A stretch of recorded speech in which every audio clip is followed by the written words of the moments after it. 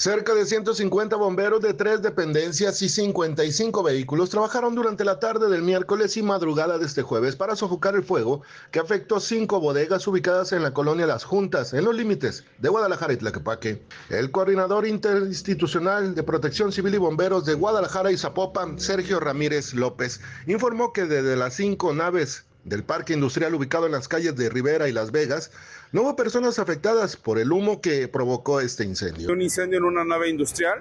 Cuando llegan los equipos tanto de Guadalajara y Zapopan encuentran un incendio propagado ya en dos naves industriales.